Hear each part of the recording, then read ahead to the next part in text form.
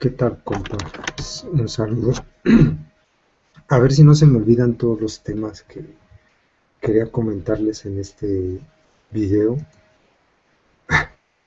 Ya se me olvidaron, de hecho. No, a ver, vamos por partes. Primero sí hablar sobre el temblor. Qué fuerte, ¿no? Muy fuerte. Hace un rato le comentaba a una amiga que vive allá en, en el Estado de México ay, perdón, que una de las pocas cosas en las que, digo obviamente, salvo su mejor opinión, pero una de las pocas cosas en las que en México sí hemos, o sí se han hecho bien, sí se ha trabajado y se han tenido resultados es en el área de, de esta de prevención de ante los sismos. Claro, se puede criticar muchísimo que a veces la alarma sísmica no suene, y es una tecnología que costó muchísimo dinero. Se puede criticar muchas cosas, pero eh, por ejemplo la magnitud del temblor del día de hoy, años atrás, habría provocado muchísimas pérdidas materiales y sobre todo vidas.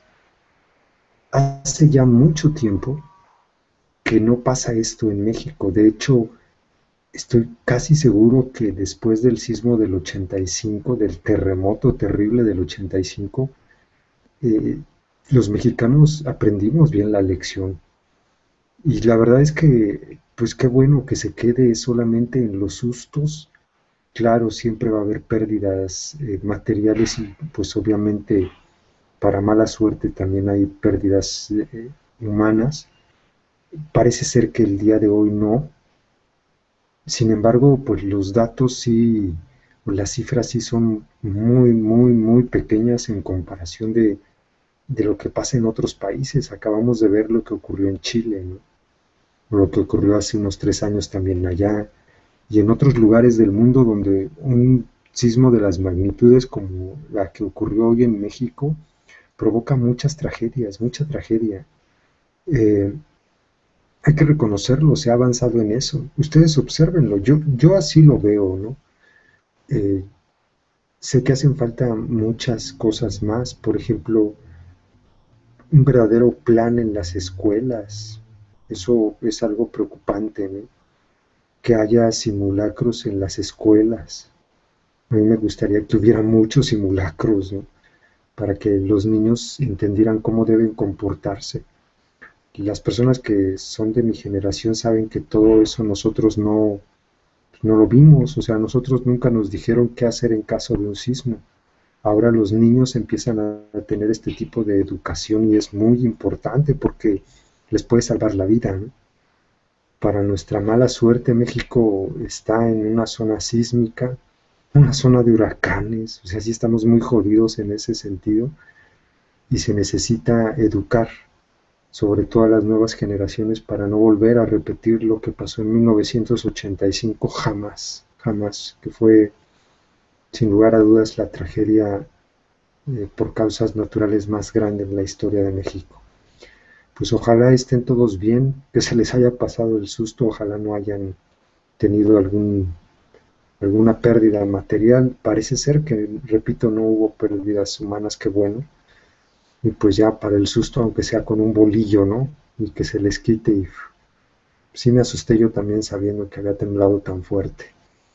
Eh, otro tema que les quería comentar es... Eh, ah, oh, ya, ya me acordé. Miren, les voy a dejar en la descripción de este video. Oh, es que solamente, solamente con una televisión o con un canal de televisión de izquierda se pueden ver estas cosas. Hoy transmitieron, retransmitieron acá una investigación que ya habían pasado hace, creo que fue en Navidad o antes de Navidad, que se llama El Milagro del Escorial. Es una investigación de, Antena 3, la transmitieron en la sexta. Les voy a dejar en la descripción del video el enlace del programa, porque pues no fue nuevo, fue una retransmisión que está ya aquí en YouTube para que lo vean. Yo lo subí de hecho al blog eh, y quiero que, quiero que lo vean porque solamente a ellos se les ocurre en un día como este hacer o transmitir un programa donde desnudan completamente las mentiras de, la fe. Eh, es un caso muy famoso acá y es la, parece ser la intención encubierta y apoyada por muchos sectores de la Iglesia Católica por crear un santuario muy al estilo del de Lourdes o el de Fátima aquí en España. Y ustedes dirán, ¿cómo? ¿Y dónde está la santa? Bueno, ya se inventaron a la santa. Así de ese tamaño, ¿no? Entonces ya la tienen. Hay muchos sectores de la iglesia que se oponen, pero hay muchos que lo están apoyando y quieren construir un santuario muy cerquita del que sería, desde mi punto de vista, el segundo monumento más visitado en España, el Escorial, que está aquí cerquita como, unos 40 minutos, sí, unos, que será unos 60 kilómetros de Madrid. Es un monumento impresionante, impresionante, y ahí quieren construir un santuario donde una supuesta mujer habla con la Virgen y con Dios. Entonces estos señores de equipo de investigación se metieron a, investigar y sacaron a la luz toda la bola de porquerías que hacen. Está muy interesante, dura como una hora, pues es un programa completo. Les va a ayudar mucho a entender cómo juegan con la fe de la gente. Es para que se los enseñen a, a todos los fanáticos religiosos que acuden a, a este tipo de lugares como, como irse a Chalma o cosas así, en donde se dice que se obran milagros cuando es el único milagro que es, lo que es un milagro es que siga yendo tanta gente, eso sí es milagro, y la cantidad enorme de dinero en que convierten estos lugares. ¿no? Ustedes pueden imaginarse eh, cuántas personas visitan la villa de Guadalupe en un año la cantidad de dinero tan enorme que le proporciona a, la propia basílica el que lo visiten tantos millones de personas.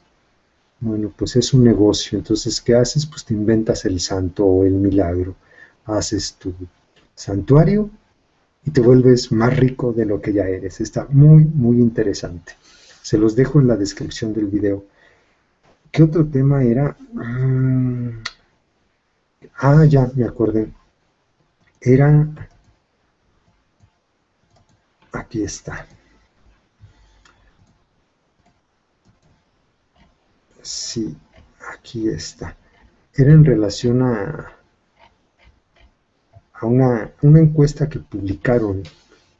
algún medio electrónico se dio a la tarea de hacer una encuesta sobre quién era el peor gobernador de México. Entonces, pues, en su encuesta salieron por ahí, salió ganador Gidio Torre Cantú. Sí, definitivamente es pésimo, pésimo como gobernador, pobre gente de Tamaulipas. Pero eh, vaya, a mí no me gustó la lista que proporcionaron y los lugares en que quedaron los demás.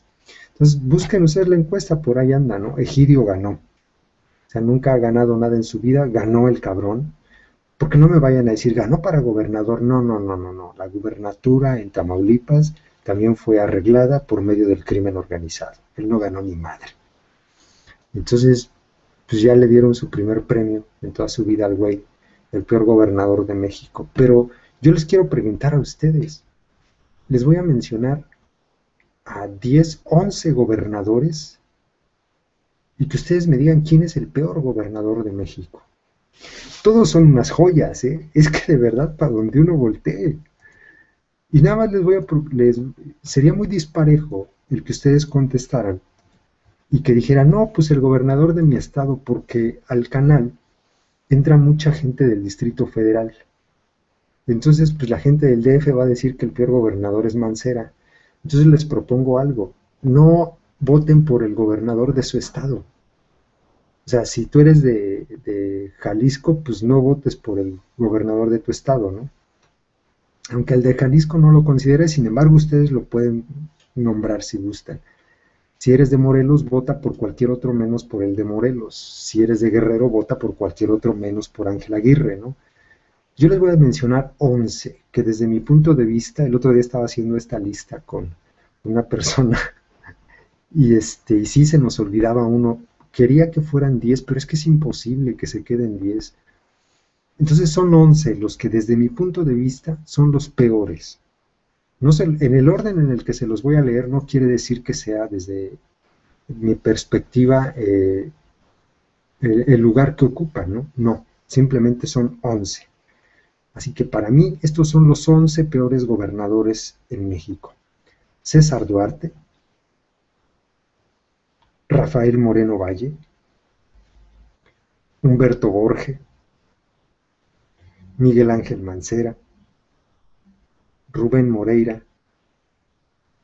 Erubiel Ávila, Graco Ramírez, Egidio Torre Cantú, Ángel Aguirre, Javier Duarte y Fausto Vallejo.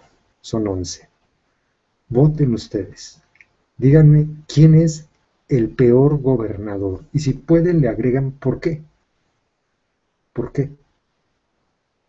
Voy a, lo, lo, platicaba también con algunas personas, el último video que haga en cada transmisión va a ser más o menos como este. O sea, también hay que conocer lo que piensan.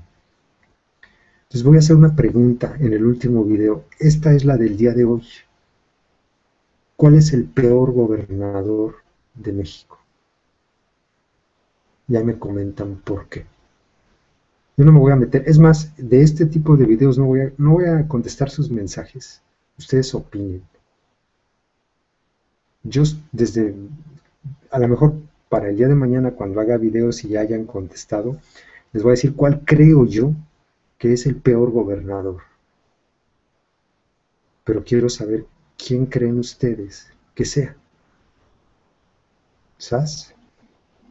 Y pues, ¿qué más era? Esto, lo del temblor, lo del...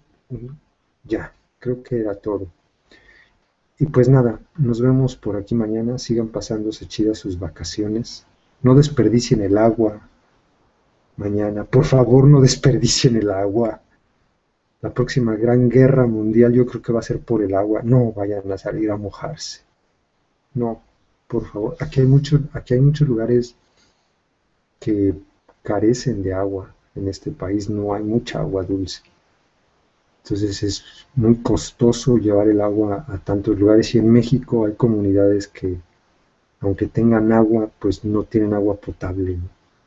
No, no, no vayan a salir a mojarse, esas son jaladas de que el sábado de gloria, hazme el favor. Yo creo que ni de Gloria Trevi. Pues nos vemos mañana, pásensela muy chido a todos. Saludos.